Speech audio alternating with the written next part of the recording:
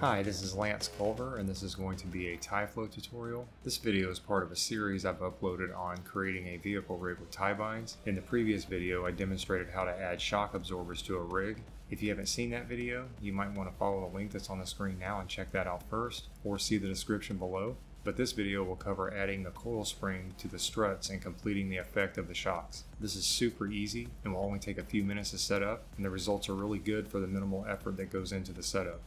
Okay, so I have the model, it's rigged, all the mechanics function correctly, which makes for a pretty convincing effect in my opinion, but this needs the coils, and that can totally be set up in TyFlow. However, in the context of a larger simulation, let's say with a more complicated rig, it's doable, but there's another way, one that looks just as good, but will not increase simulation times at all, and it's actually way easier to set up. It's a better solution, so let me show you. You can see this is exactly where we left off in the previous video. I'm going to select these items here and isolate selection. I want to create a box, make a copy. Okay, for this first box I'm going to align it to this lower strut dummy and align the orientation of each axis. I'm going to do the same thing with this one. I'm going to align it to the upper strut dummy. And I'm going to change the gizmo to local. Slide this box down until it's right along the edge of this screw part, whatever this is called. Move this box to somewhere about there. Come over to helpers, select this drop down, come down to TyFlow, and then I'm going to create two TyBinds. Right, for this first one, I'm going to align it to this box. For this second one, I'm going to align it to this box.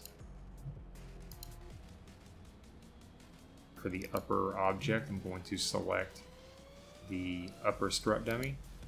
And for the lower object, I'm going to select this box. And then for this one, same thing, upper object, this lower strut dummy, and the lower bind object, this box.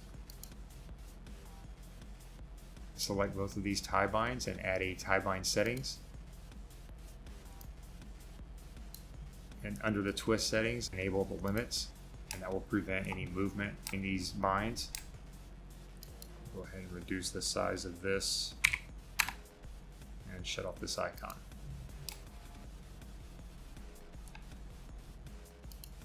Next, select each of these boxes, add a TyProperties,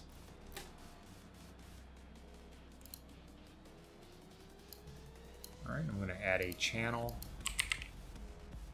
spring dummies. Just leave the value at 1. Now select the TyActor and add these new TyBinds.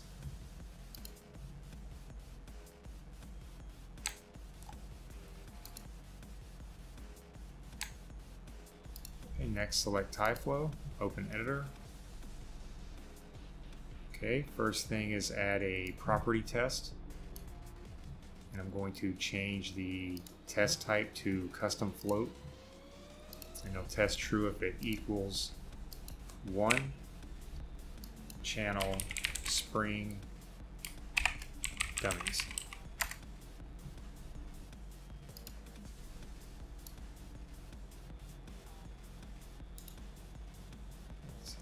Isolate. Okay, you can see the two new particles here. Place them on their own simulation group. We'll just say 8. Rename this event spring dummies. Alright, I'm going to add a PhysX shape and a physics bind. Alright, for the bind, I'm going to change it to TyActor binds right now. So that's pretty much all we had to do there. You can see that these particles are, they're sticking right where they should go and they'll stay there. All right. So next I'm going to add a display data. So this particle has birth ID 41 and this one has birth ID 42. Next I'm going to go to create, down to helpers and create a dummy. Make a copy of that. Come over here to the animation tab and then here under assign controllers, select transform, click this little check mark, assign a TyParticle controller. And here select Tyflow. Change this from 0 to 41. See that dummy just jumped right there.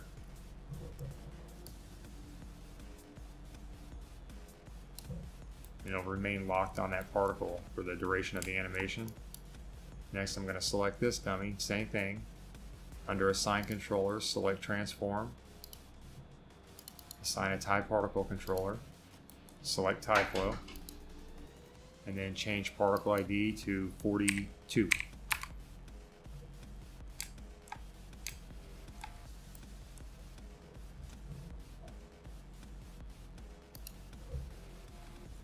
Go ahead and shut off that display. Come up to Create, Dynamics, and then Spring. And then right here at the beginning, at the top here where it says endpoint method, we're going to choose bound to object pivots.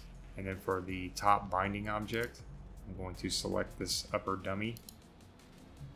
And then for the bottom I'm going to select this lower one.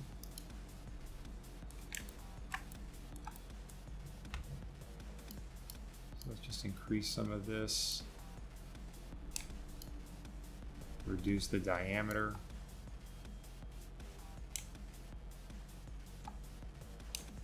Also going to reduce the diameter of the wire. Reduce this overall diameter a little bit more. Increase the turns.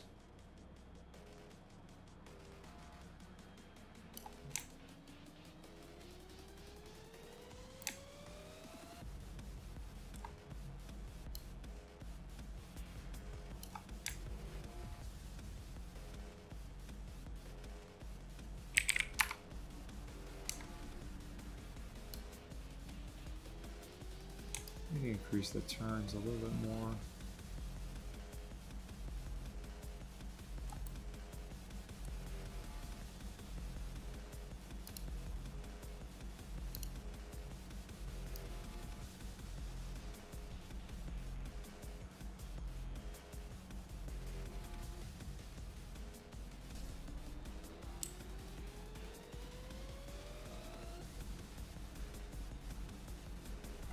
If you need to adjust the position of the spring, so come over and select the TyBind and the box.